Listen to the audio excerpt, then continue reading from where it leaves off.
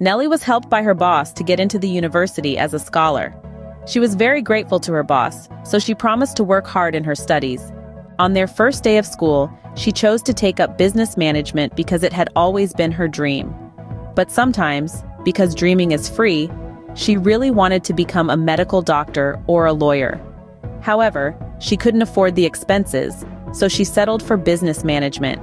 Inside Richmond University, she was dressed simply, wearing a long skirt with boots and a long sleeve shirt, with her hair tied up. She was excited to attend her first class. But before she could find her room for her first subject, she noticed a girl who seemed extremely shy. The girl kept her head down and didn't want to look up. Nellie approached her and asked, Hi, miss, is this also your room? With a smile. But the girl just nodded without lifting her head. Nellie felt sad, so she sat beside her and said, Wow, we're classmates. That's great. I'm Nellie. She smiled and extended her right hand to the girl who still didn't lift her head. She reached out her hand, but the girl still refused to look up. Jessica, but you can call me Jess, she replied. Wow, what a beautiful name. But why don't you want to look at me? I'm not scary. Nellie pretended to be upset. Slowly, the girl lifted her head. Nellie saw that she had thick eyebrows, like Betty La Fea. But Nellie didn't mind.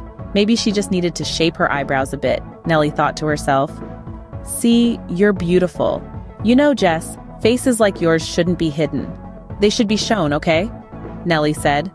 Jess replied, Heh hee, I'm not shy. I accept who I am, Nellie. The only problem is my crush is here. She answered while looking at some guys near their classroom door. Nellie frowned and looked at the guys from a distance. Haha, now I understand. Which one is he? Nellie asked. The one in the white polo shirt, he's quiet, Jess replied, blushing. Hey hey, I see why. He's handsome.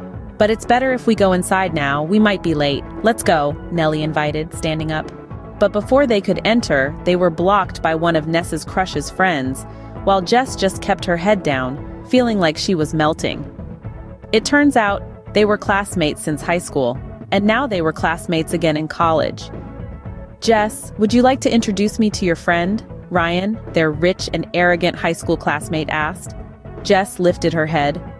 Ah, Ryan, guys, this is Nellie, our classmate, Jess replied. Nellie raised an eyebrow and felt like Jess was just using her as a shield and blocking them. You know my name, can you please let us through? Jess replied irritably to the person in front of them. Jess, this girl is so rude. Can you please tell her who I am? He said, not stopping bothering Nellie.